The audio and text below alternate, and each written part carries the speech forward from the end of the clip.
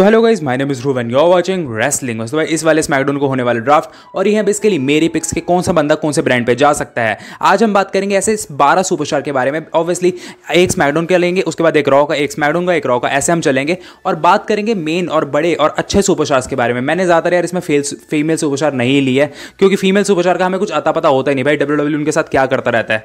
तो उनकी स्टोरी तो मुझे पता नहीं भाई, अच्छी कहीं पर भी चल सकती है या नहीं चल सकती। सबसे पहले बात करते हैं भाई स्मैकडाउन के बारे में। स्मैकडाउन की फ़र्स्ट पिक है ऑब्वियसली मुझे बताने की भी ज़रूरत नहीं है। रोमन रेंस भाई रोमन रेंस वो बंदा है जिसने इतने लंबे टाइम से स्मैकडाउन को भाई इतनी बढ़िया बढ़िया व्यूअरशिप इतनी बढ़िया बढ़िया रेटिंग्स दिलाई है। तो मुझे नहीं लगता कि भाई फॉक्स उसे अपने हाथों से जाने देगा। और भाई वो यूनिवर्सल टाइटल अगर जिस तरीके से स्मैकडाउन पर रिप्रेजेंट हो रहा है ना, मुझे नहीं लगता भाई डब्ल्यू डब्ल्यू भी चाहता कि रोमन रेंस वहाँ से जाए। अगली बात करते हैं रॉ की। और रॉ पे बेसिकली जो बंदा आता है वो है ऑब्वियसली बिगी बिगी और ये जो रोमन रेंस है, इन दोनों के बारे में तो हमें पता है भाई, ये दोनों चैंपियन है तो ये बंदे रहने वाले ही हैं रॉ और स्मैकडाउन पे। अगली बात करते हैं स्मैकडाउन के बारे में। और स्मैकडाउन पे जो अब बंदा आने वाला है। वो है भाई ड्रू मैकिटायर और क्यों ना आए भाई? ड्रू मैकिटायर के इतने लंबे टाइम से रूमर्स आ रहे हैं कि वो बंदा आएगा स्मैकडाउन पे। एक हमें बेसिकली मैच एडवर्टाइज मैं आपको बता दूँ, अगर आपने मेरी पुरानी वीडियोस नहीं देखी, मैं आपको बहुत लंबे टाइम से बताता आ रहा हूँ। ड्रू मैकिटायर वर्सेज रोमन इसका यूनिवर्सल टाइटल के लिए मैच एडवर्टाइज है। एडवर्टाइज बेसिकली यहाँ डब्ल्यू ने नहीं किया, वहाँ के लोकल एडवर्टाइजर ने किया तो हो सकता है वो एक डार्क मैच हो।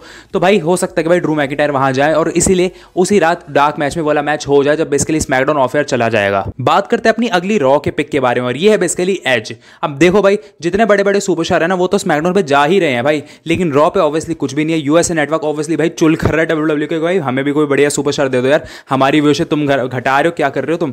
तो ऑब्वियसली भाई एच की बहुत ज़्यादा ये रूमर्स आ रहे हैं कि भाई, वो बंदा जा सकता है। ऑब्वियसली जा सकता है और उसमें कोई डाउट नहीं है। अभी सेथ्रॉनिक्स के साथ ऑब्वियसली उनकी फ्यूट चल रही है, लेकिन भाई मुझे नहीं पता कब तक चलने वाली है। हो सकता है भाई वो रॉ पे जाए और उसके बाद थोड़े बहुत इन्वेजन एंगल्स हमें देख सकते हैं, मुझे ऐसा लगता है। लेकिन स्टिल अभी भी ऐसी बहुत ज़्यादा चांसेस है कि भाई एज वहाँ चले जाएँगे रॉ पे। बात करते हैं भाई ब्रॉक लेसनर के बारे में। अब देखो भाई, ये बहुत ज़्यादा हाई चांस है कि ब्रॉक लेसनर जाने वाले हैं भाई स्मैकडाउन पे। ऑब्वियसली उनकी रोमन रेस के साथ फ्यूट चल रही है तो वहाँ तो ऑब्वियसली उनका जाना बनता भी है। और भाई स्मैकडाउन के स्मैकडाउन पे अगर वो जाते हैं ना भाई तो भाई अलग ही नेक्स्ट लेवल का कुछ हो जाएगा, क्योंकि काफ़ी टाइम से हमें वो रॉ पे तो दिखाई दे ही रहे हैं भाई, और वो थोड़ा सा हमें ऐसा चुल सा देता है कि भाई रॉ पे।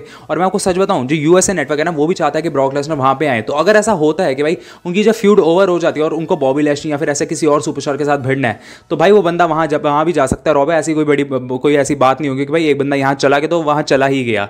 आपको पता है भाई मिक्सडअप होते रहते हैं सुपरस्टार शेकअप भी आता है। तो भाई, हो सकता है ऐसा कुछ कि अभी वो चले जाएँ यहाँ पे बेसिकली स्मैकडाउन पे और बाद में वो चले जाएँ रॉ पे। लेकिन अभी मुझे ये बहुत ज़्यादा हाई चांसेस लग रहा है कि वो बंदा जाने वाला है भाई स्मैकडाउन पे।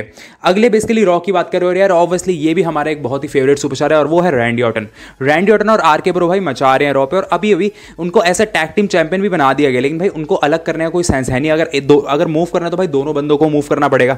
और दोनों बंदों को मूव करना कोई ऐसे बहुत ही समझदारी वाली वाली बात तो है नहीं ऑब्वियसली क्योंकि ऑब्वियसली रिडल भी बहुत बढ़िया कर रहे हैं रॉ पे। तो मुझे ऐसा लगता है कि भाई रैंडी ऑटन भी रॉ पे ही रहने वाले हैं। देखो, यहाँ तो हमारी बात होगी हमारे मेन सुपरस्टार की, जिनको सारे लोग पसंद करते हैं। लेकिन अगर हम और सुपरस्टार की बात करें तो अब मैं आपको ऐसे तीन तीन सुपरस्टार बताऊँगा, जो स्मैकडाउन और रॉ पे जा सकते हैं और भाई उनको, उनके वहाँ पे जाने से बढ़िया स्टोलेंस हमें दिख सकती हैं। सबसे पहले बात करते हैं भाई स्मैकडाउन के बारे में। स्मैकडाउन के तीन सुपरस्टार है सेथ्रोलिन्स सिजारो और हाँ ओमस जी, आपने बिल्कुल सही सुना। ओमस अगर यहाँ पे आ जाते हैं ना भाई, उनकी फ्यूड हो सकती है भाई कमांडर असीज के साथ और इतने बड़े बड़े सुपरस्टार के साथ हो सकते हैं। ये तीन ऐसे सुपरस्टार है जो अगर हमारे स्मैकडाउन पे दिखते हैं।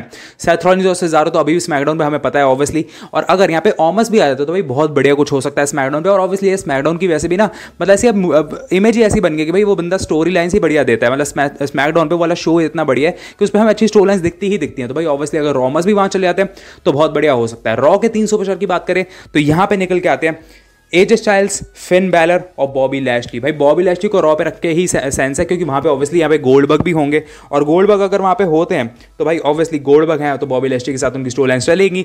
तो वहाँ रख के फ़ायदा। फिन बैलर अगर वहाँ चले आते तो भाई फिन बैलर एक स्टार पावर है। फिन बैलर और एज स्टाइल की वहाँ पर भी फ्यूड हो सकती है। तो भाई ये ये मेरी आज पूरी यहाँ पे बारह पिक्स थी, जो हो सकता है कि रॉ और स्मैकडाउन पर हमें दिखाई दे। बाकी अब हम बेसिकली ड्राफ्ट का ही वेट करेंगे।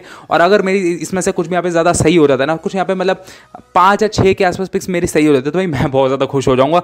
लेकिन ऑब्वियसली आपकी क्या पिक्स आपको क्या लगता है कि जो बड़े सुपर सुपरस्टार्स हैं और जो अच्छे सुपर स्टार है, जिनकी स्टोलेंस देखने में मज़ा आ सकता है, वो कौन से कौन से ब्रांड पर हो सकता है? आप नीचे कमेंट में बता सकते हैं।